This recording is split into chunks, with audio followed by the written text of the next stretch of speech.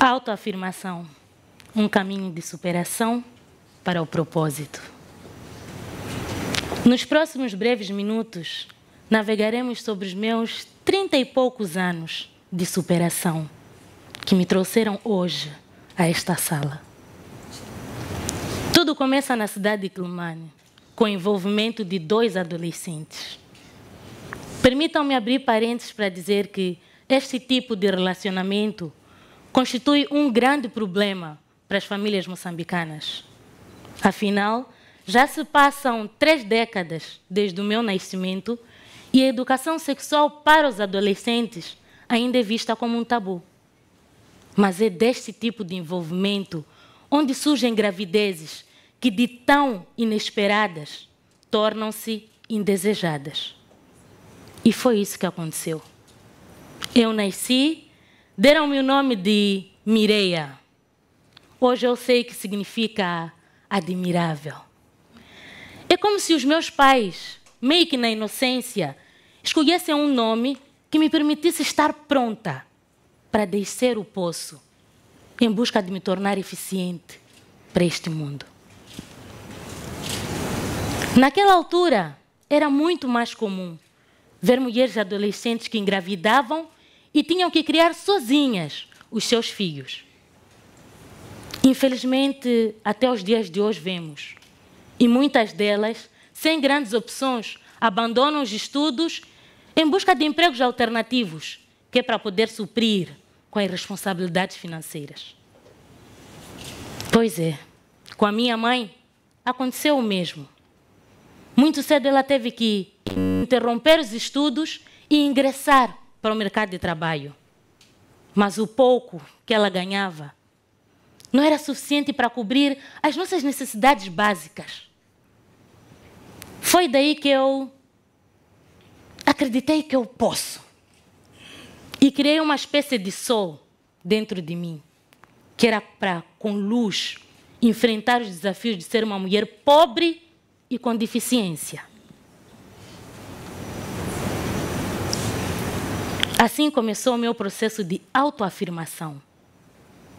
Aos nove anos, a minha rotina mudou.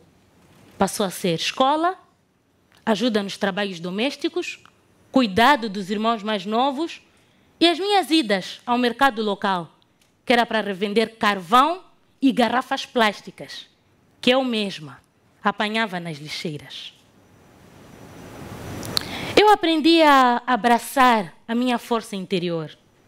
Ressignifiquei vários desafios.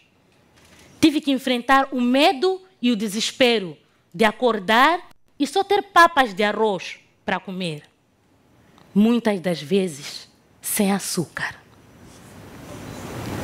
Tudo isso fez-me compreender que não só posso, como devo.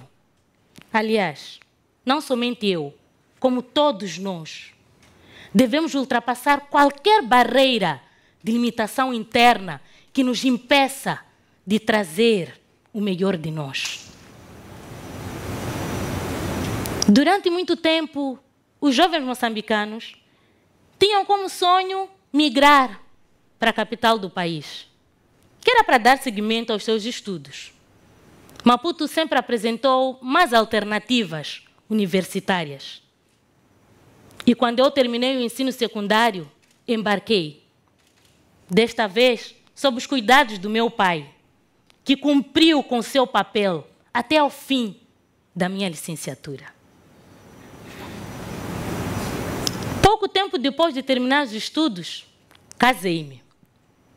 Para a nossa sociedade, este é um grande marco na vida de uma mulher. A pressão é tanta que acaba se tornando um objetivo de vida para muitas de nós. Nivelamos sonhos e metas pessoais para caber nesse padrão de exigência inconsciente da sociedade. Mas, se tivéssemos ideia do quanto atrasamos o desenvolvimento do mundo, toda vez que dizemos que atrás de um grande homem há uma grande mulher, talvez entendêssemos o quanto limitamos a força, a coragem, a criatividade e a determinação de mulheres que fariam muito mais sentadas nas escolas ou nas empresas do que de joelhos dentro de casa, a implorar por respeito e consideração. Enfim, como eu havia dito antes, casei-me.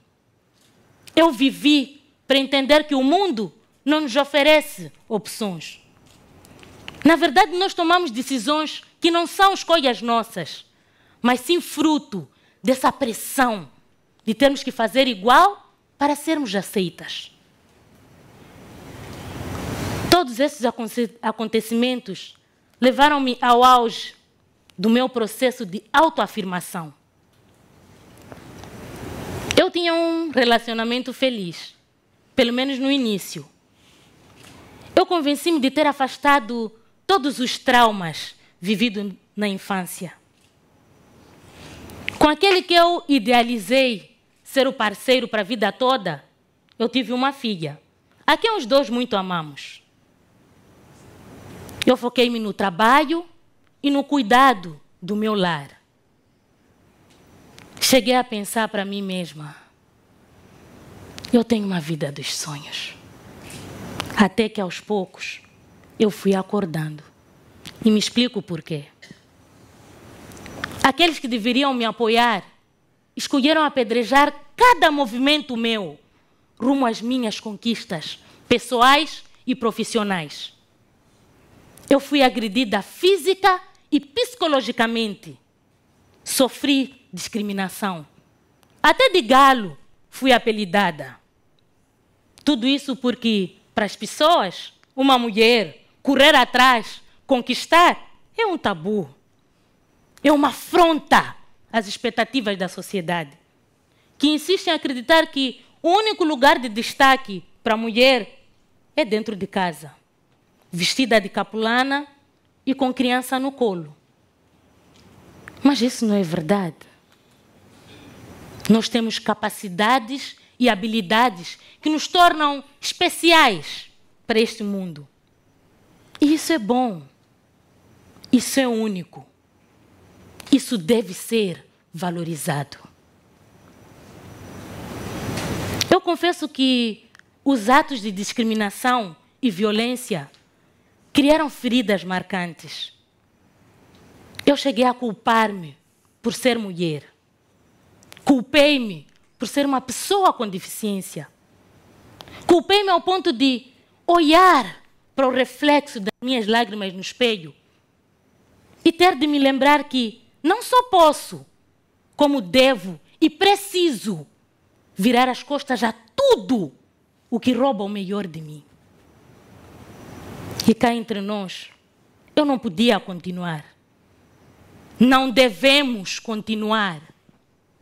Porque a violência, seja ela de que tipo for, machuca o corpo e a mente mas também destrói o nosso potencial para a vida. Porque enche-nos de medo. E nós somos muito mais capazes daquilo que nos dizem que somos. Enfim, atualmente eu vivo a melhor fase da minha jornada. Uma fase de maior aceitação de mim mesma. E toda vez que eu olho para cada experiência vivida, eu percebo que, mais do que uma história de autoafirmação, a minha vida é um propósito de superação. Não só para mim, mas para outras mulheres. E digo-vos, toda vez que em jeito de gozo vos chamarem de empoderadas, lembrem-se, Ser empoderada nunca foi vergonha.